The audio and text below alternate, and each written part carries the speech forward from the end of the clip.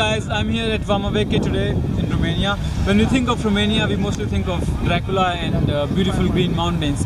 But not many people know that Romania has an amazing beach culture.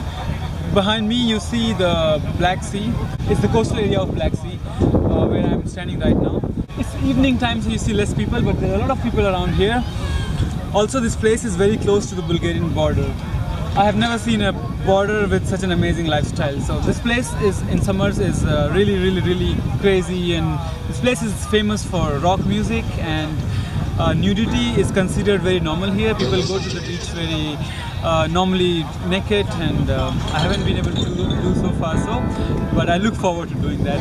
In the 1970s and 80s, uh, it was a place for hippies. All these places you see, they were not here. The place used to be full of tents and uh, place used to be famous for hippie gatherings but now you see all these big restaurants and big hotels and things are changing.